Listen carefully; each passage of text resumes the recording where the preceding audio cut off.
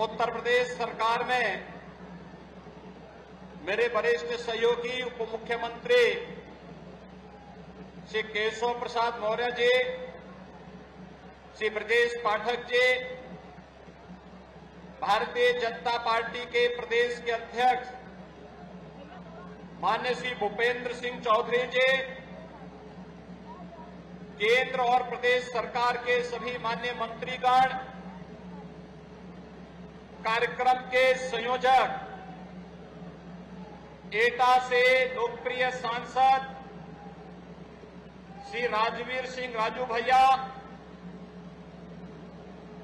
उपस्थित अलीगढ़ और एटा से जुड़े हुए सभी भाइयों बहनों श्रद्धेय बाबूजी की इस द्वितीय पुण्यतिथि के अवसर पर आज जब हम सब उन्हें हिंदू गौरव दिवस के रूप में स्मरण कर रहे हैं, प्रदेश सरकार की ओर से और उत्तर प्रदेश वासियों की ओर से उनके द्वारा प्रदेश के विकास, विरासत के सम्मान भारत की राष्ट्रीयता के लिए किए गए प्रयासों के लिए विनम्र श्रद्धांजलि अर्पित करते हुए इस अवसर पर केंद्रीय गृह और सहकारिता मंत्री मान्य श्री अमित शाह जी का मान्य श्री पीयूष गोयल जी का और राजस्थान की पूर्व मुख्यमंत्री पूर्व केंद्रीय मंत्री मान्य श्रीमती वसुंधरा राजे सिंधिया जी का मैं आप सबकी ओर से हृदय से स्वागत करता हूँ, अभिनंदन करता हूँ। भाइयों बहनों, हम सब इस बात को जानते हैं कि उत्तर प्रदेश में सुरक्षा, सुशासन का माहौल किस प्रकार से बनना चाहिए?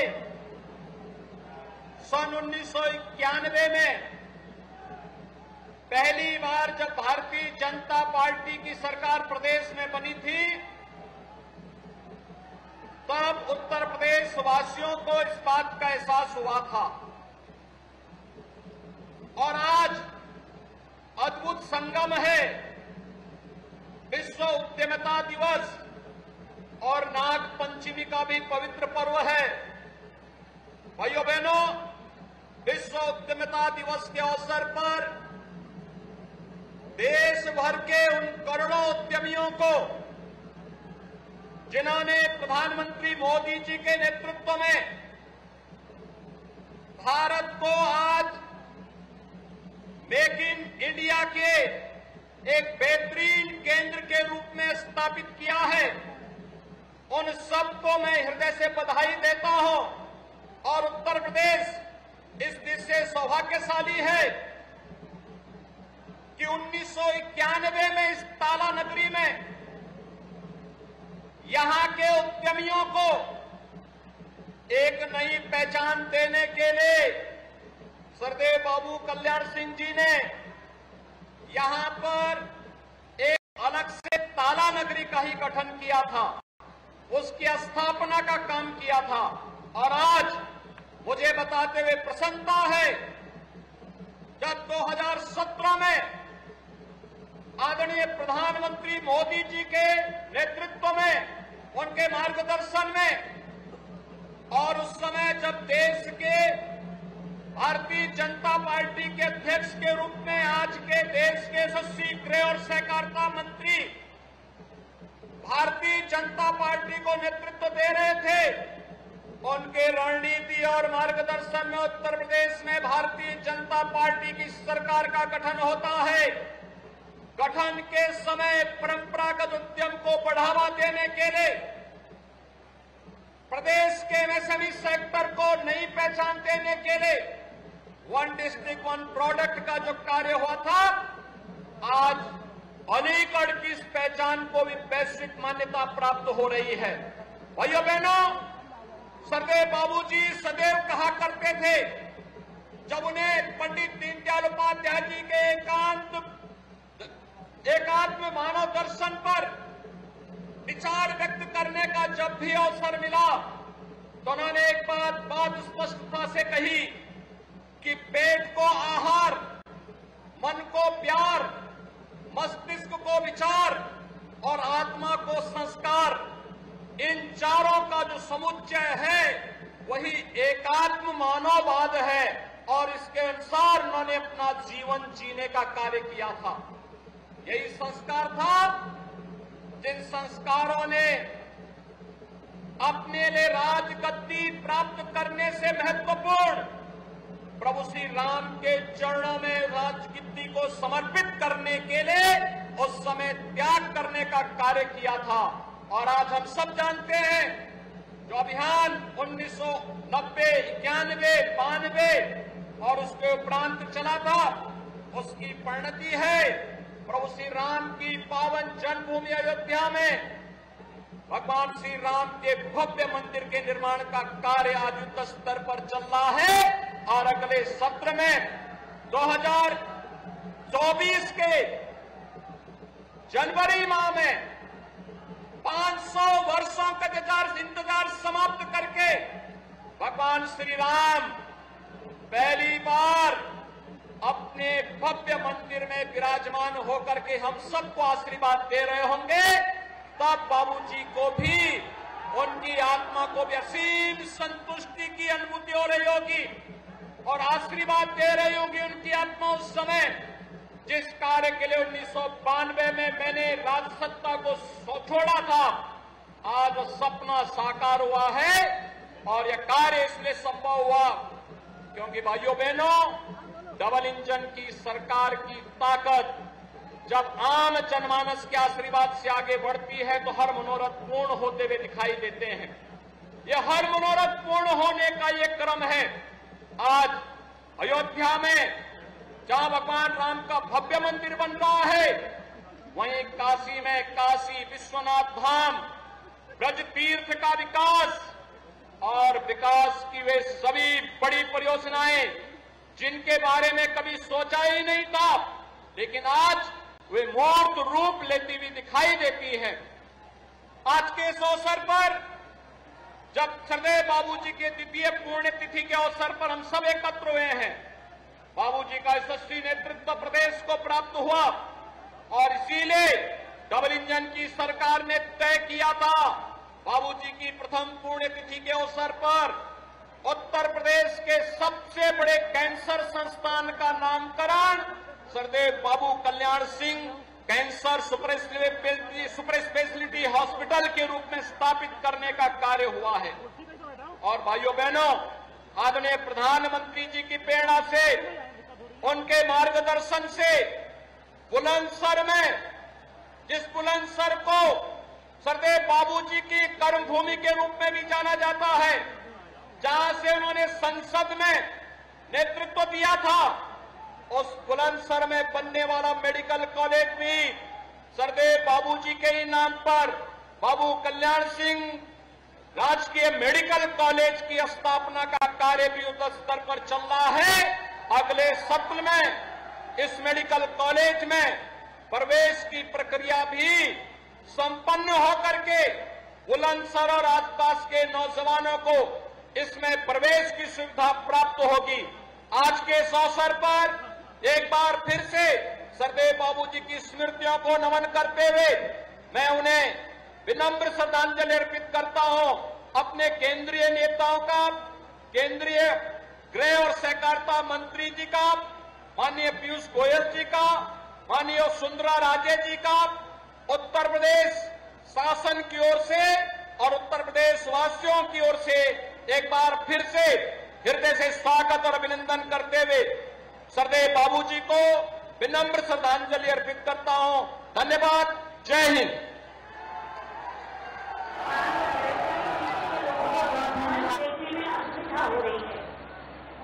मैं जन्मा आज़ाद, बंधन मुझको स्वीकार नहीं। प्रण वाले को प्रण प्राण से मुझको प्यार नहीं। मैं जन्मा आज़ाद, बंधन मुझको स्वीकार नहीं।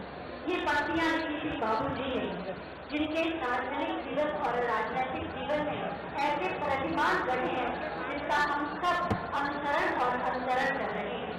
हमारा सौभाग्य है, हमारे बीच आज केंद्रीय गृह एवं सहकारिता मंत्री आदरणीय श्री अमित शाह जी मौजूद हैं मैं बहुत ही आदर के साथ उनसे अनुरोध कर कहर बनकर बरसी है, जिसके कारण से जान माल के साथ सड़कें भी क्षतिग्रस्त हुई। बारिश के चलते कई मार्ग अवरुद्ध हैं, जिसके कारण ग्रामीणों को काफ़ी परेशानी हो रही है। उन्होंने संबंधित विभागों से अपील की मेरे साथ बोलिए भारत माता की वही ऐसी आवाज़ नहीं चलेगी मेरे साथ दोनों हाथ उठाइए उठाइए दोनों हाथ। और यूपी की अस्सी की अस्सी सीटें भारतीय जनता पार्टी की झोली में डालने के प्रण के साथ मुट्ठी भीजिए और प्रचंड आवाज़ से बोलिए भारत माता की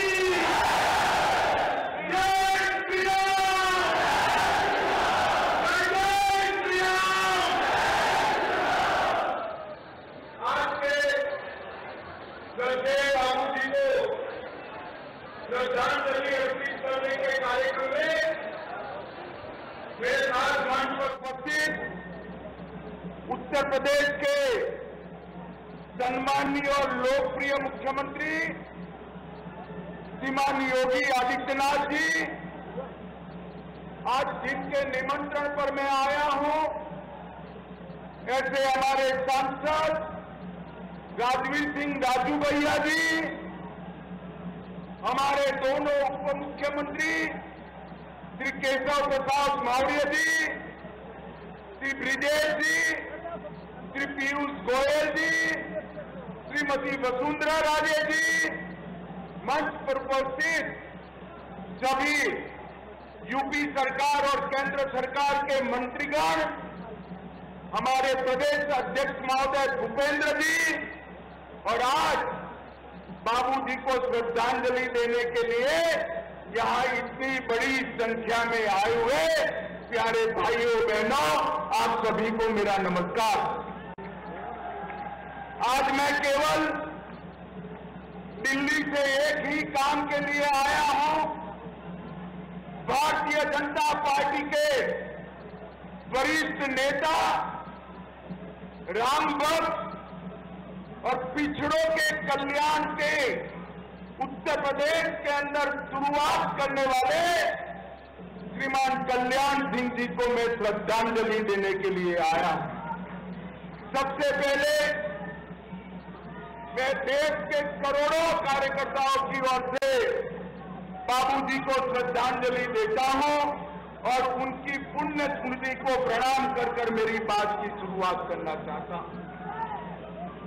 जो जो लोग बाबूजी को जानते हैं, वैचारिक कर्मठा, प्रशासनिक कुशलता और संगठन की दक्षता और पिछड़ा और गरीब के प्रति असीम संवेदना का प्रतीक, बाबूजी कल्याण जी थे। मित्रों, आज मैं लंबी बात नहीं करना चाहता। मैं उस दिन कोरोना के कारण अस्पताल में था, जब मोदी जी ने श्री राम मंदिर का शिलान्यास करने का काम किया।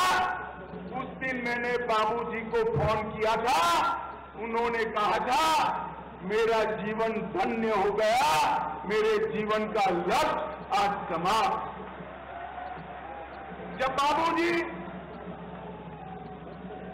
उत्तर प्रदेश के मुख्यमंत्री बने तब, इन्होंने तीन चीज़ों पर लक्ष्य दिया था।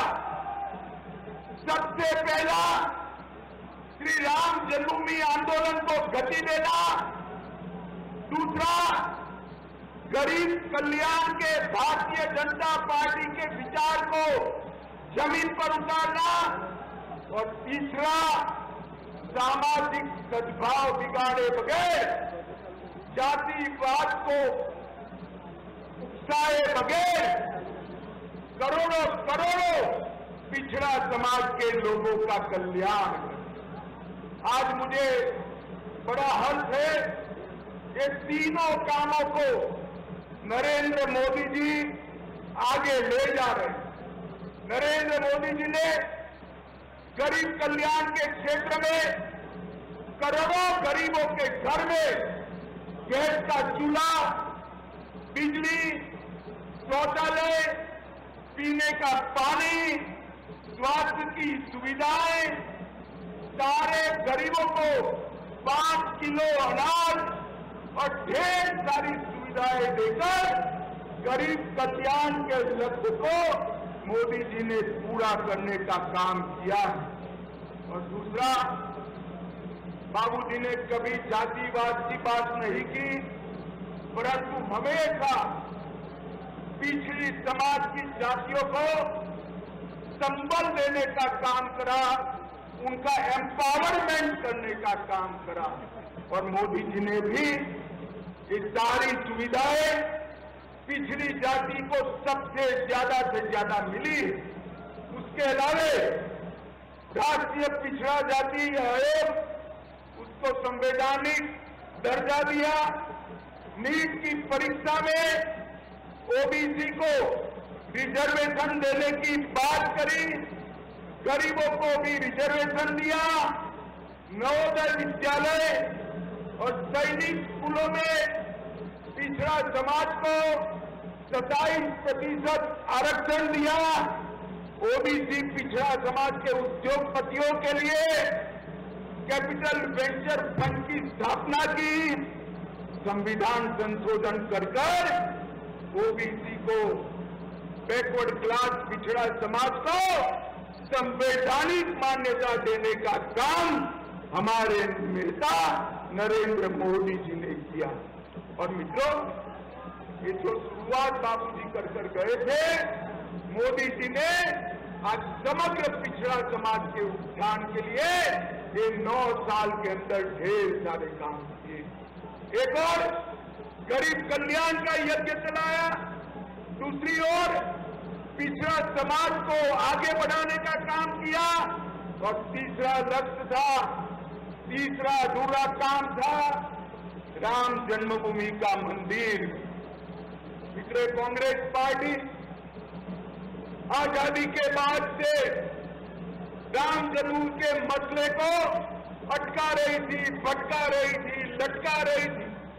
मोदी जी ने राम जन्मभूमि के मसले को कोर्ट का जजमेंट लाकर कोर्ट का जजमेंट आते ही एक दिन बड़े सवेरे खून का कतरा बहाए बगैर प्रभु श्री राम के मंदिर का भूमि पूजन करने का काम कर मित्रों, आज मैं समग्र उत्तर प्रदेश के सभी लोगों को कहना चाहता हर व्यक्ति के जीवन में कुछ पल आते हैं जो व्यक्ति का परिचय करा देते हैं। बाबूजी के जीवन में भी एक ऐसा पल आया।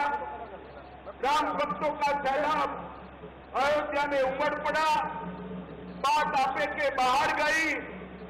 सब लोगों ने दबाव बनाया।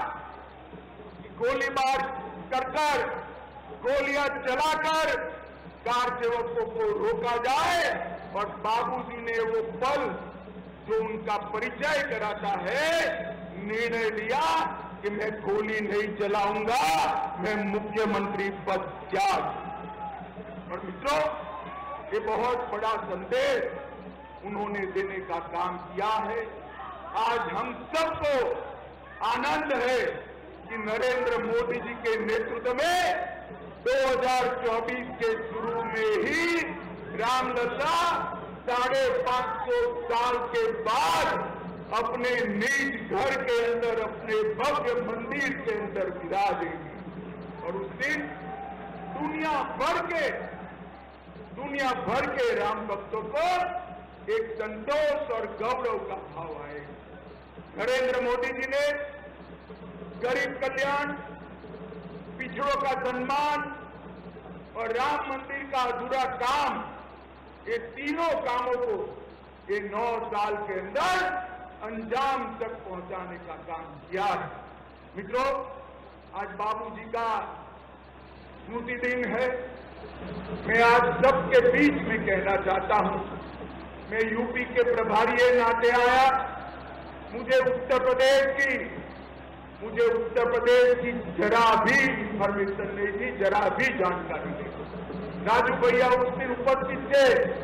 चाय कॉफ़ी देते जाते थे। बाबूजी ने मुझे लगातार 11 घंटे बिठाकर उत्तर प्रदेश के हर जनपद की बारीकियों से अवगत कराया। और अगस्त तेरह से, अगस्त 2013 से काउंटिंग तक हर दिन दो बार, एक सुबह और एक शाम को फ़ोन कर कर उत्तर प्रदेश के चुनाव के लिए उन्होंने हमेशा मार्गदर्शन करने का काम किया।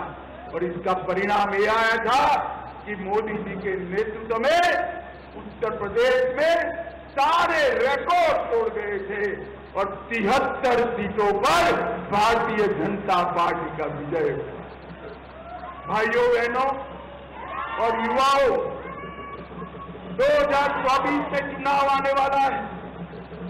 आप बताइए, तिहत्तर सीटों का रिकॉर्ड तोड़कर 80 की 80 सीटों पर कमल खिलाएँगे क्या? अरे हम सब ज़ोर से उन्हें खिलाएँगे! श्रद्धेय बाबू जी को इससे बड़ी श्रद्धांजलि कोई नहीं हो सकती। मित्रों, अस्सी की अस्सी सीटों पर एक बार कमल खिलाइए, मोदी जी को फिर से प्रधानमंत्री बनाइए। और पूरे भारत में संदेश भेजे कि उत्तर प्रदेश भारतीय जनता पार्टी का अभेद गढ़ है, इसको कोई पराजित नहीं कर सकता। भाइयों और बहनों, मैं फिर से एक बार बाबूजी को श्रद्धांजलि देकर मेरी वाणी को विराम दूँगा। मेरे साथ बाबूजी को श्रद्धांजलि देने के लिए और 80 सीटों के संकल्प को दोहराने के लिए आप सभी दोनों हाथ उठाकर भारत माता का जयकारा लगाएँगे।